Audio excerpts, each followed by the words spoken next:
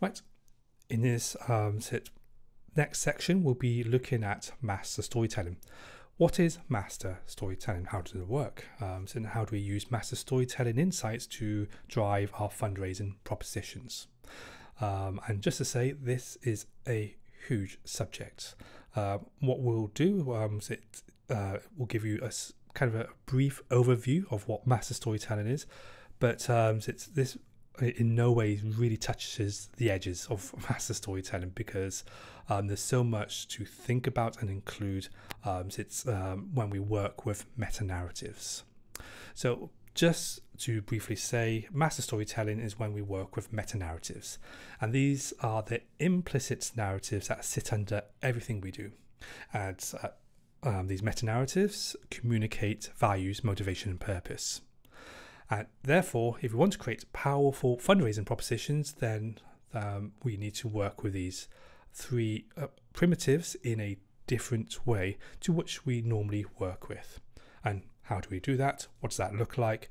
And how do we use uh, insights from storytelling to take us to a very different paradigm altogether in terms of working with our higher values, higher motivation, and leading to a stronger, much more authentic and richer purpose that drives uh, everything that we do.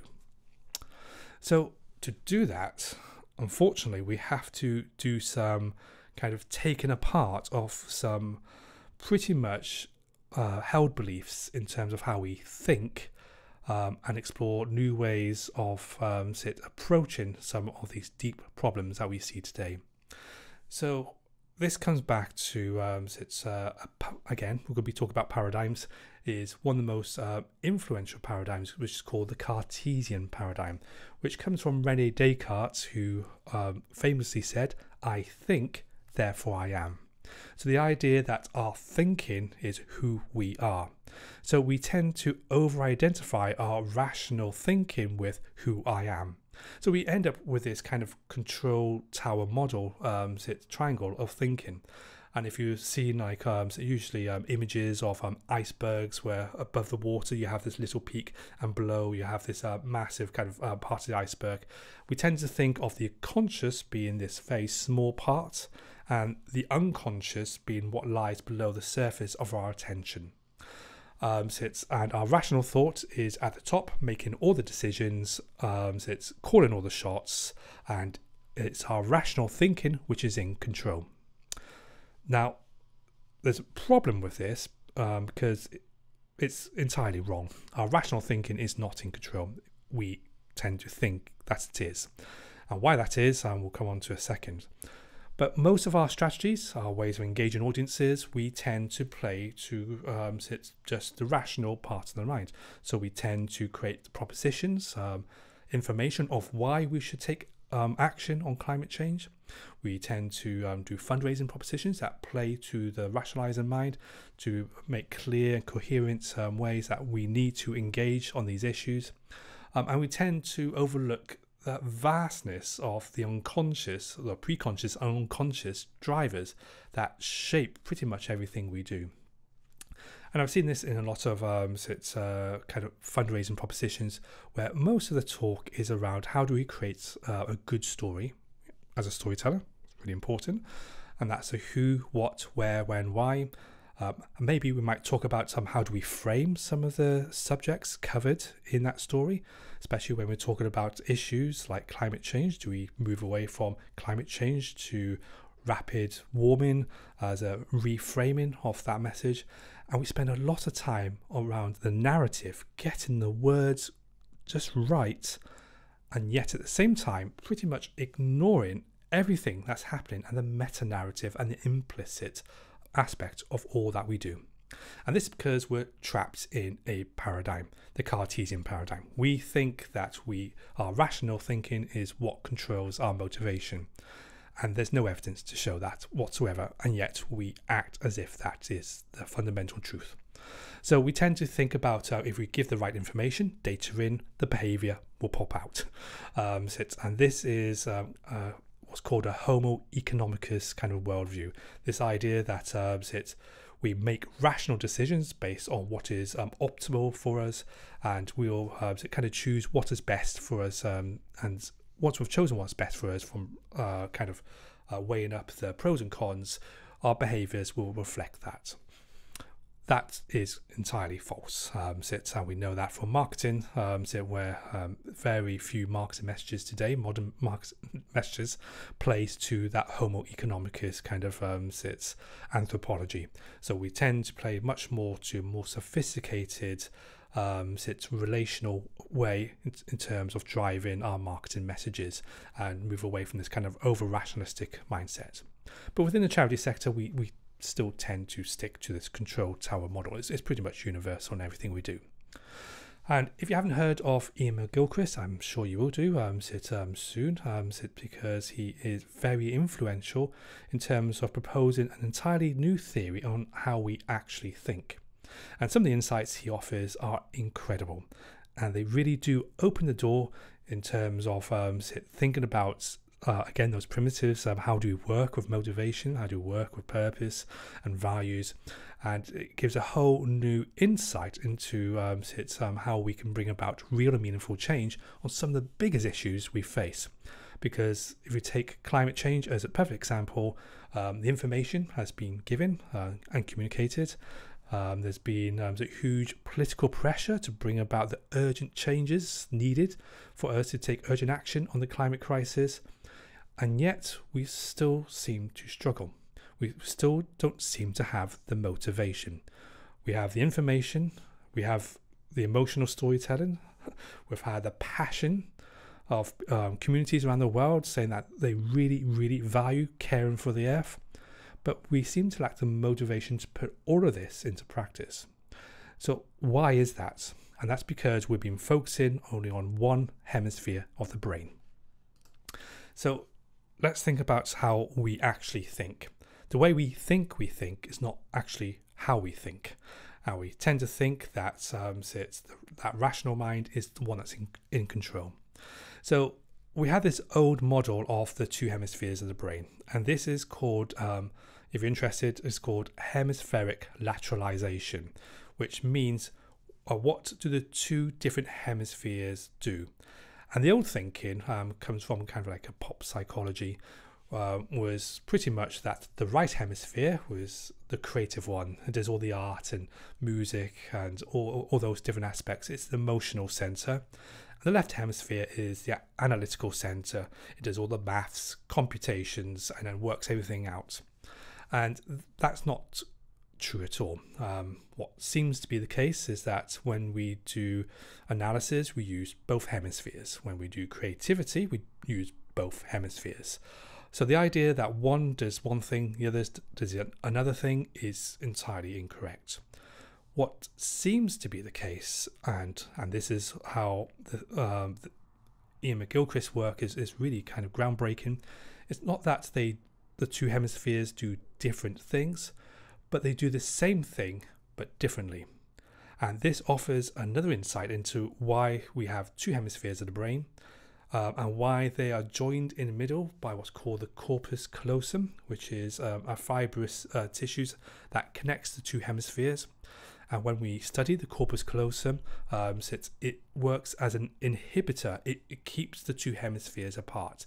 It doesn't really get them communicating as much. It tries to keep them separate to make sure they're both doing their tasks differently. So that's really interesting. And also, um, the two hemispheres are asymmetrical, so they're different shapes, so they're not replicas of each other. They both have um, a different job to do. So, what, what do we now know about the two hemispheres of the brain? So, the left hemisphere um, sits uh, with insights from neuropsychology. We now know the left hemisphere deals with narrow attention. Uh, it's much more goal orientated. Uh, it's much uh, deals with abstract ideas. Uh, it only deals with represented data. So um, all information comes from the right hemisphere and it's represented to the left. So it only deals with second-hand information, if you if you will. Um, it tends to categorize, put things into boxes in order to control them and understand them. It likes repeatability. It's very literal and factual. Um, it's very um, self-absorbed and dogmatic. It only thinks about itself Um, it also is a driver for this endless bureaucracy. In order to create systems of process, it creates um, bureaucracy to make sure that um, so everything fits into place. And it prefers rhythm, um, so it's um, repetitive kind of um, so sound. The right hemisphere, by contrast, is broad attention. It is vigilant, it looks out. It tends to see the bigger context, tends to understand the, the whole picture. It likes to empathize, it tries to connect and create relationships. It deals with metaphor, um, as well as poetry and myth, um, it deals with those aspects. It is very self aware and reflective. Um, it deals with time, space, and depth differently to the left hemisphere. And it prefers melody rather than rhythm. So it has a very different function in terms of um, the way it sees and interprets the same information. So the theory why we have two hemispheres comes out of um, it's a very basic need that uh, you can see in all animals and all humans. Um, it's, is that when you are, um, so let's say you're a little bird, you, you have two roles that you have to do simultaneously at the same time. So you have to look at the food on the floor. So that's a narrow attention. You look down at the seed on the floor and to feed yourself. But whilst you're feeding yourself, you also have at the same time broad attention to look out for um, predators. So the right hemisphere can do the lookout, look at the big picture, uh, spot the intention of a predator close by, while the left hemisphere can look down, break things down, and manipulate things into smaller parts so that you can eat it. So you can see that there's um, these two basic functions are embedded within nature, and uh, it's they represent two different states of thinking that happen at the same time. So therefore, everything we do, we do uh, with two hemispheres we have two brains working simultaneously doing very different things. And in our culture, we tend to prefer the left hemisphere. We like the left hemisphere because left hemisphere deals with explicit information. It deals with narrative, it deals with language, and it deals with things. Um, so the left hemisphere um, it's, it's better at manipulation, so it gives us power. That's why we like the left hemisphere. The right hemisphere is much more implicit. It deals with implicit information and it deals with meta narratives. So the left deals with narratives, the right with meta narratives, the implicit story being told in everything that we do. And it's non-verbal and deals with relationships. So if you like, the left hemisphere deals with things, the right hemisphere deals with the relationship between things, and together they work really well but they work best when the right hemisphere is more in charge and the left hemisphere plays more of a servant role. And in our culture, we have it the other way around. We um, put the left hemisphere in charge, and the right hemisphere plays a more servant role. And there are huge problems with that. And we won't go into all of that because that requires a, a lot of unpacking. But what's interesting from a fundraising proposition, um, fundraising perspective, is the hierarchy of attention. Is that the right hemisphere sees the big picture first, sees what is real, it absorbs that information and represents it to the left hemisphere, who then break, breaks it down into language, into boxes, into things in order to understand it. So the right um, deals with the, uh, all the information first, presents it to the left, and the left breaks it down and what should happen is the left should return to the right and say, actually, does that make sense? In our culture, we don't tend to do that. We tend to prefer the left hemisphere's take on the world. And what does that mean from a storytelling perspective? So when we tell stories, uh, we have two stories being told at the same time.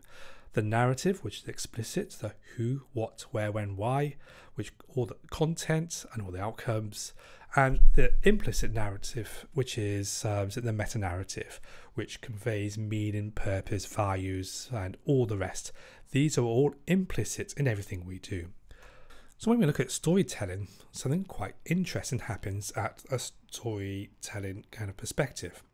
Is that you have the two hemispheres working in different ways with every story we tell. So think about uh, when I tell a story to you, I am giving you information, I'm giving you the characters, the time, the place, the whereabouts. Um, so I've got the narrative which I'm communicating to you. So that is called the narrative, and that is externally regulated. So I'm giving you information from outside, and that's moving to you. So it's an outside information to in. Meta narratives are different. They don't emerge from the storyteller, they're implied by the storyteller. Actually, the audience narrates the meta narrative. So you have two different flow states one which is a narrative, which is extrinsic flow state, and meta narrative, which is an intrinsic flow state. So meta narratives are uh, implied in the story. So let's say you're reading Harry Potter as a good, good example. Um, so it's you might be reading a story about this wonderful um, so school of wizardry called Hogwarts, and if you're reading the book, um, so it's the description of the, of the what Hogwarts is like will be laid out in the narrative, but it's up to us as the audience to imagine what that place looks like. It's up to us to put colours, to give shape to what is being implied by the storyteller. So, storytelling is a co created act. It is information received, but it also is uh, relies on the audience to engage and bring their own interpretation to the story. So that's why stories are never single acts, uh, and how we receive stories is very different to how other people might receive stories because we bring ourselves into the narrative. And we do this almost unconsciously. Um, and we do it with great ease, not realizing what a strange thing this is when we listen to stories that we are co creating the story alongside the narrator. So, we, for interest from our side, is that we have two different flow states one which is an extrinsic flow state, and this is an out to in flow state, and it's narrowing of attention. So think about uh, arrows coming in. So that's your extrinsic flow state. Intrinsic flow state, which comes from the right hemisphere, is an in to out flow state, and it's broad attention. So it looks out to the bigger picture. The left breaks everything down into its smallest part, and the right um, looks at the bigger picture and tries to see about a bigger context. And this has huge implications for the way we think, the way we um, try to derive problems, because most of our problems uh, in academia, we tend to break everything down. We tend to use the left hemisphere to analyze and understand the world around us. So when it comes to creating uh, kind of meaningful solutions to big issues like climate change, we tend to use the left hemisphere and try to find logical and rational ways of engaging audiences on these issues uh, which makes no sense because the issues arise from the right hemisphere. So, how do we think about the bigger picture? How do we use storytelling, sense of belonging, look at some of the meta narratives that are implied in everything we do? And there's very few people, um, from my experience working in the climate movement, who are even looking at meta narratives, who are even looking at the implicit narratives that underpin everything we do, and tend to go back to tell the same story again and again, hoping things will change. So, the left hemisphere gets caught in a logic trap. It tends to think it has the answer to the problem, um, but it doesn't see that it created the problem in the first place. So we have what's called a paradigm trap. Um, we get go, going round and round telling the same story, thinking that things will change if only people will understand the science more on climate change. If people will only understand um, it, um, the, how urgent it is, and maybe if we raise the profile of climate change, um, people will act. And again, telling the same story, not really understanding um, that uh, climate crisis is a relational crisis. It's not a technical um, crisis to be solved, but it goes much deeper in, in terms of how we relate and understand our place in the world, and also the values and motivation and all these other aspects which are held by the right hemisphere. So we tend to um, get stuck in left hemisphere thinking, and we can't get out of it.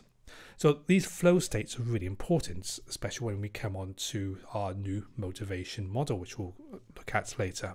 So the left hemisphere has an extrinsic flow state. It likes to manipulate and it likes to apprehend. And apprehension is comes from the Latin ad to hold on to, to manipulate. So it seeks power, manipulation, or it seeks pleasure. So that's the values ecology of the left hemisphere. Very important we remember that. Right hemisphere is an intrinsic flow state. It likes to encounter and likes to comprehend.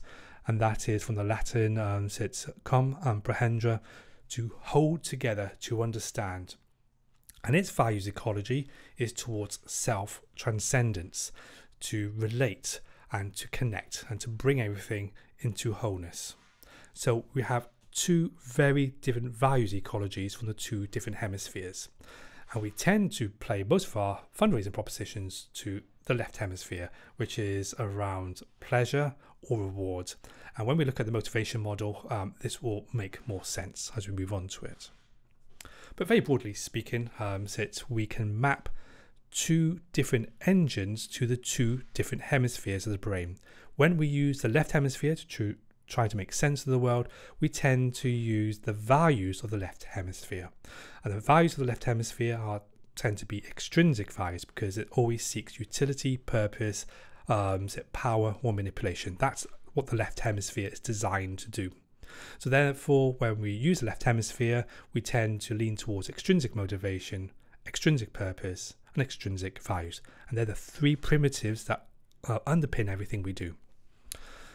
Now, if we move to the right hemisphere, we move to a different paradigm altogether. And this is called the storytelling paradigm. And the storytelling paradigm is not about telling stories, because um, we tell stories anyway. It's how we tell stories in a different way that work with the three primitives of intrinsic motivation, intrinsic purpose, and therefore intrinsic values. So this is a very different engine altogether.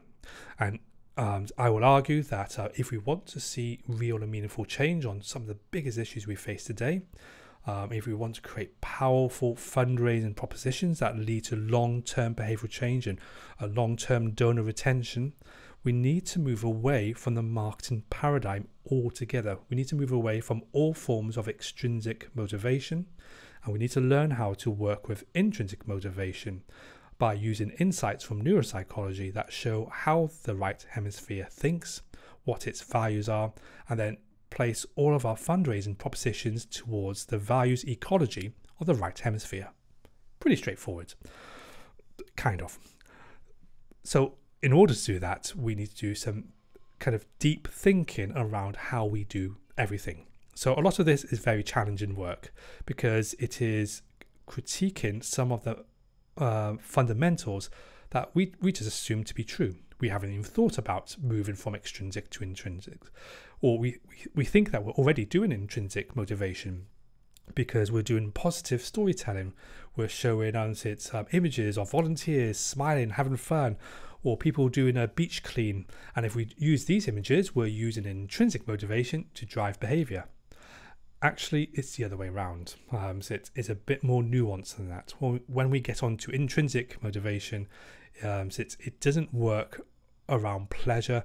It works with different um, dynamics. And how do we work with those dynamics in order to try to create long-term behavioral change?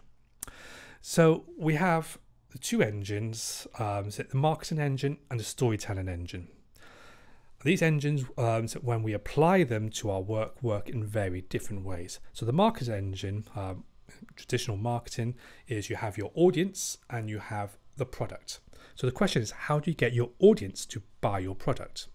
The best way to do that, uh, to engage your audiences, is to create anxiety or to play to our lower values around um, sit greed that you'll get something in return that you'll be happier with this next purchase or upgrade.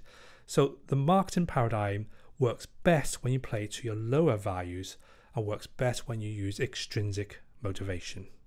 So that is a paradigm we're stuck in. So if we trying to create positive change on some of the biggest biggest issues we face today especially climate change and uh, global poverty if we're using marketing paradigm to drive that change, is that we're creating um, kind of short term kind of actions, but we're not leading to the psychological foundations needed to create long term behavioral change. Because long term behavioral change happens when you engage uh, your higher values, which are intrinsic values. So until we move to a new engine, and in this image, we have the heart representing this new engine. Um, it's we work in a very different way. So instead of pointing audience to the product, And we see this within the private sector. Um, so it's um, a lot of organizations are already doing this. Instead of taking audience to the product, you show the product in service to a higher purpose and you tell stories to the higher purpose and how your product is something which helps you to get to your higher purpose. And just to make sense of that, um, let's look at two marketing propositions one from a pretend uh, climate charity and the other one from a pretend um, electric vans company. They both have uh, come with uh, to the market with the same uh, marketing proposition. Uh, so it's the climate uh, are using it's the small changes that make a difference. And we have an image of people together planting, doing small things that make positive change.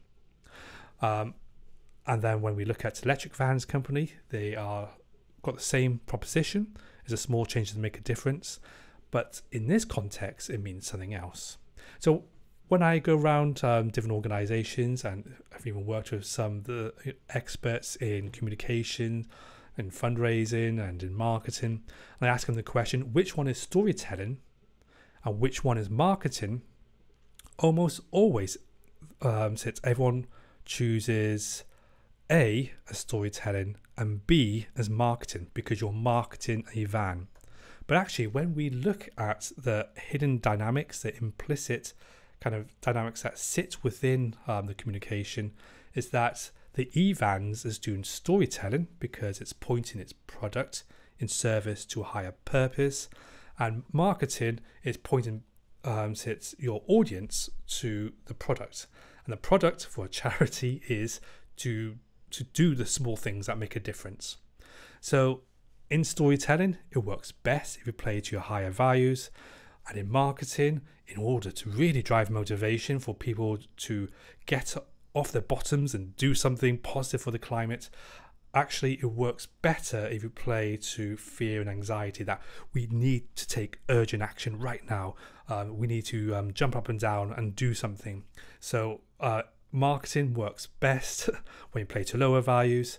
Storytelling works best when you play to higher values. Um, and this might feel somewhat confusing because we tend to um, sit, um, confuse our cause with our purpose. So if you're working to um, to address climate change, we tend to think that is our purpose, but actually that's not. That is your product. If you're a charity, that is your product which you're trying to get your audience to engage with. So therefore, the question is, how do you get your audience to engage with your product, but it's in service to a higher purpose. And you can see why this gets very difficult for charities to do.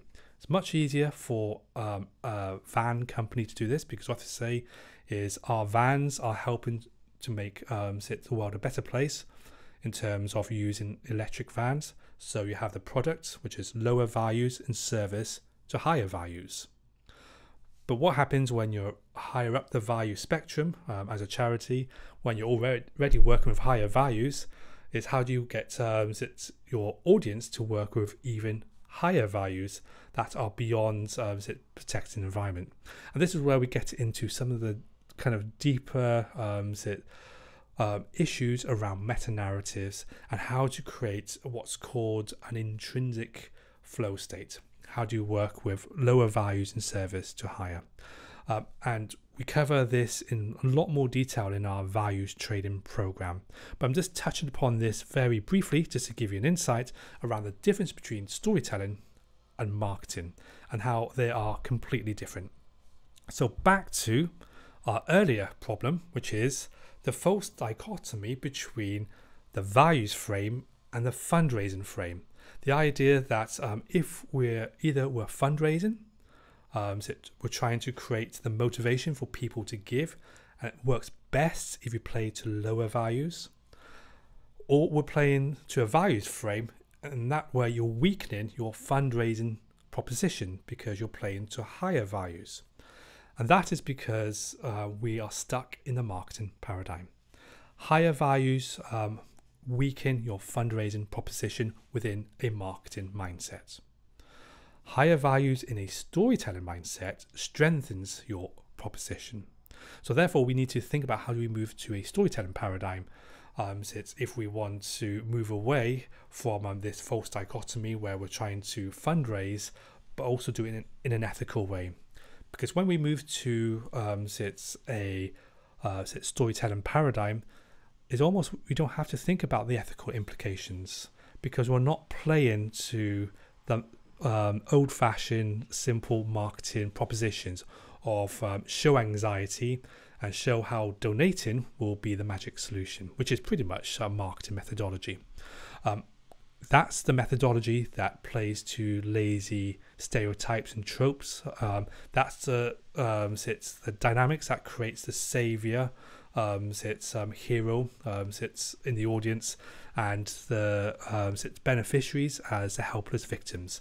So until we move away from marketing altogether to a storytelling paradigm, do we um, not only create stronger um, values propositions, not only do we create uh, work within a more ethical um, storytelling framework, we also work with higher values and higher stages of motivation, which leads to long term behavioral change. This is where all charities need to be.